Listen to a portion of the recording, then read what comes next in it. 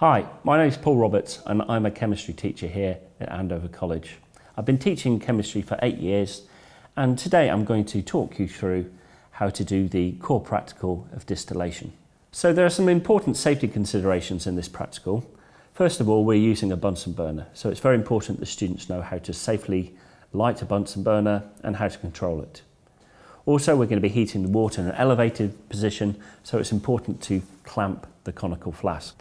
First part of the practical setup, you're going to need to prepare the bung thermometer delivery tube apparatus. An important safety consideration in this delivery tube setup is that there are no blockages in the delivery tube. Any blockages could result in the overpressure of the heating system and could result in injury. So first of all, just check that there are no blockages. This can be done by carefully blowing through and you can feel air coming through out of the other end. So now we have our delivery tube apparatus set up. Now I'm going to add some ink to the conical flask here and I've got some black ink. I've prepared this by um, putting a few drops of just fountain pen ink in 200 mils of water. Need to add approximately 50 centimetres cubed. The volume isn't critical, we're going to have some left over at the end anyway. Now to ensure a nice smooth boil, we need to add some anti-bumping granules. The amount of these anti-bumping granules isn't critical, just a spatula full in the flask is fine. So now we have our ink and anti-bumping granules in our conical flask. We can now put in the thermometer, bung delivery tube apparatus and push it in nice and snugly. Notice at the other end here we have the delivery tube going into a test tube and the test tube is in an ice bath. That way when the water boils it will condense in the tube and will be continued to be condensed in the test tube. Okay, so I'm going to light the Bunsen now. Always light a Bunsen with the hole either closed or partially closed and I'm going to slowly increase the temperature of the Bunsen now. Now the Bunsen is going to be heating fairly vigorously and I'm wanting to bring the water or the ink, which is mostly water, up to a boil. Now I can keep an eye on the thermometer there, but uh, the thermometer should start rising as I heat it up and it's going to take a couple of minutes for the ink to come to a boil. So whilst you're heating the ink, it's very important to keep one hand on the Bunsen burner. That way, if the ink starts to boil quite violently, you can quickly move the Bunsen out of position. I can just see the ink just starting to boil now, bringing it to boil, and I'm being mindful not to leave the Bunsen there. The temperature is still rising, and at this point, I can just start to see condensation appearing in the delivery tube. So now this is a kind of boil we're looking for. A nice, steady, rolling boil. I don't want to heat it too violently. If I heat it too much, then the ink will actually boil all the way to the top of the bung and we'll get carryover into our receiver flask. I can now see liquid slowly coming down the tube is condensing here in this tube. Now bear in mind this tube is going to be very hot. This tube is going to be uh, 100 degrees so don't touch it. And I'm continuing this in and out type process where I'm heating the ink, keeping it on a nice rolling boil. Now after a couple of minutes of doing this, you should be able to see through the uh, the receiver, through the ice bath in the receiver, that we have collected some water. And at this point, I can turn the Bunsen burner off. Now, I'm not going to um, do anything to the apparatus until the boiling has stopped and until there's no more steam coming out of the delivery tube. Bear in mind, you can see the thermometer now. The thermometer is at 100 degrees and so is the whole of this apparatus. However, my ice bath and my receiver is actually quite cool now. This is actually cool to touch. Now I can carefully remove the ice bath. Doesn't matter about any water dripping here. And I can see now when I take out my test tube, my receiver test tube, that I've got pure water remaining. And there's no ink in the original sample. So it's very important now to keep an eye on the temperature and not to start disassembling the apparatus until the temperature drops to 50 degrees. Everything here will still be very hot. The rest of this can go down the sink as there's no hazards in pure water. So there are a few common problems that can occur in this practical. First of all, you get black ink in your test tube, in your collection vessel. This can be caused essentially by the ink boiling too vigorously and the ink carrying over uh, into the tube. A simple remedy to this is not to heat the, the uh, conical flask as strongly and constantly be moving the Bunsen burner in and out. Another problem can be if, if you're using a small conical flask, then it boils too quickly and the, there isn't the volume for the, the boiling to calm down. Again, I suggest using a 250 ml conical flask. Now the other problem might be you get no water at all in your receiver. Now this can um, be due to there being a hole or a, not a snug fit in the thermometer and delivery tube or there not being a snug fit in the bung into the conical flask. So in summary for the distillation practical, first of all, you prepared the delivery tube apparatus and made sure there are no blockages. We've also looked at how to safely heat the apparatus and make sure there's no carryover. And last of all, we've looked into some troubleshooting of how to get over some problems that might occur.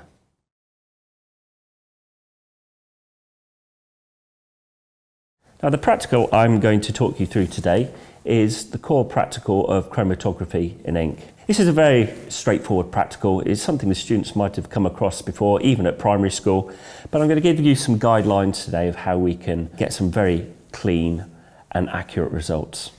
As with all chemistry practicals, we have to consider safety. The solvent we're going to use in this chromatography is water, so there's no hazards there. But as ever, if you're working in a laboratory, it's standard precautions to wear a lab coat and safety glasses. So we're going to start the practical now. The first thing we need to look at is the beaker.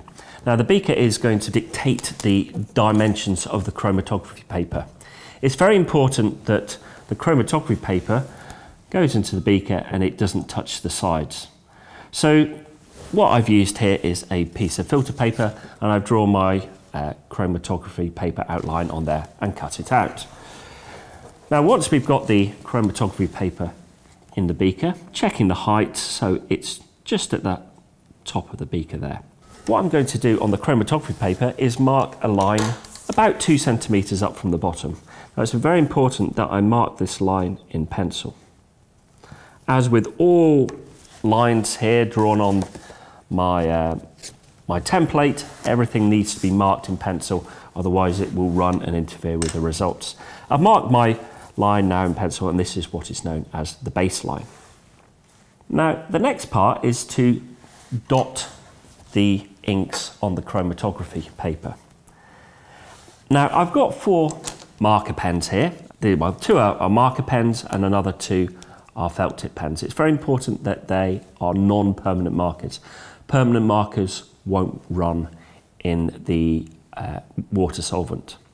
So, as with chromatography, all chromatography, less is more. It's very important to put a small amount of residue on the chromatography paper.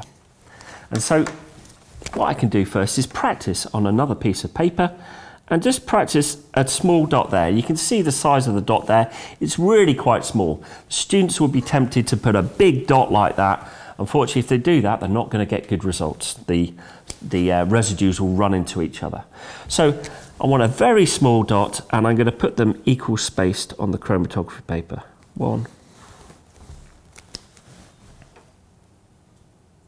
two, three. So you can see they're very, very small dots in chromatography. Now we're going to suspend this in the, uh, over the beaker And so I'm just going to attach the chromatography paper to a pencil. Now this can actually be done beforehand to the, for the students. You can always give them the paper already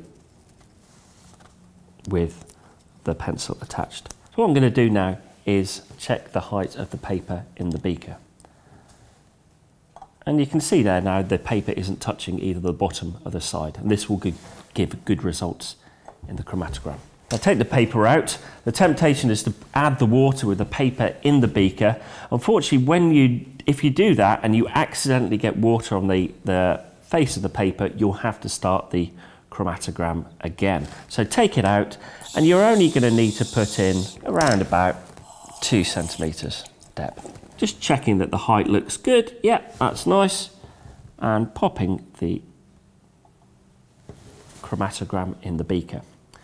Now the temptation is to move the beaker now. It's very important that we leave the beaker nice and still. If you move it and the, the paper touches the side or the water washes over the baseline, you're going to get really quite bad results. So just leave the paper nice and still for 20 minutes. So it's been 20 minutes now and you can see now on the chromatogram that there's been quite good separation. You can see on this paper here how we've had no separation of the dots either side, but the, the two dots have completely separated. And you can actually see on the chromatogram that these two black inks are made from two different um, mixtures, both though containing a blue and a pink. Now, at this point, it's important to leave the chromatogram to dry. And I'm going to leave the um, chromatogram to dry. You can pop it in an oven or on a windowsill, but don't lay it flat. flat. If you lay it flat, then the, the inks will start to smudge.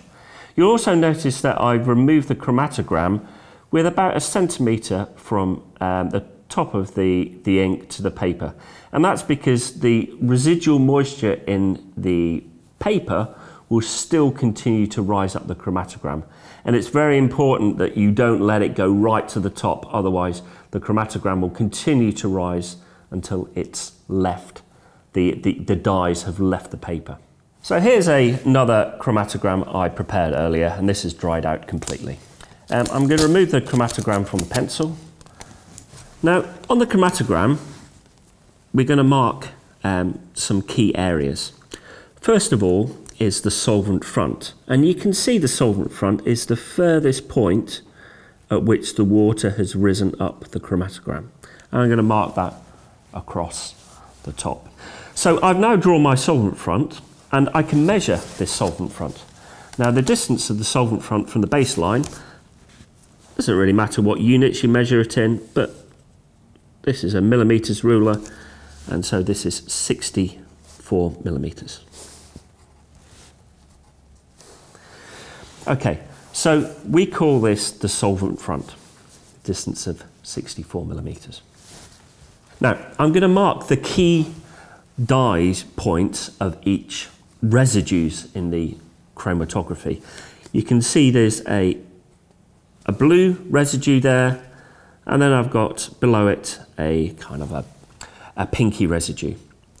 And on the other one here, I have a blue residue there and again a slight pink residue and you might be able to make out a very faint another kind of pink residue there. And I put my cross at the darkest points of the, um, the residues.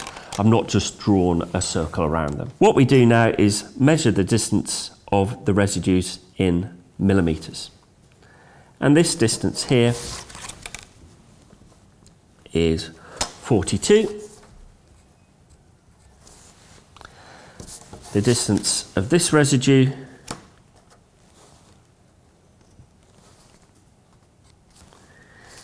is 59. The distance of the blue residue is 62. And then for the other residues of the other ink, this residue distance is 59 And the blue residue is, again, 62.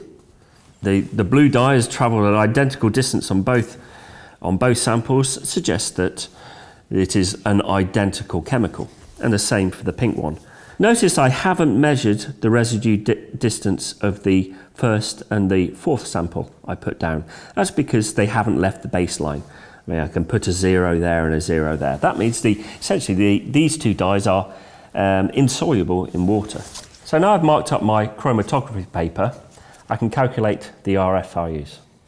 Now to calculate an RF value, we use the equation RF is equal to the residue distance, residue distance, divided by solvent front.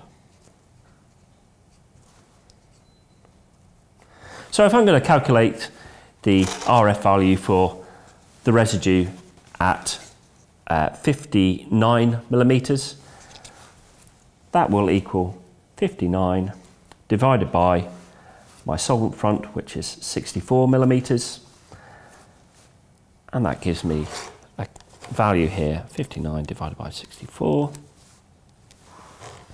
of 0.9 2. Now there are no units on an RF value. That's because you're dividing millimetres by millimetres. And if you're looking at your significant figures, it's important that the same significant figures are used as are in the measurement. So I've given my answer to two significant figures. So what we've done today in this core practical is to prepare the chromatography paper, to run the chromatogram accurately and precisely, and then to calculate RF values.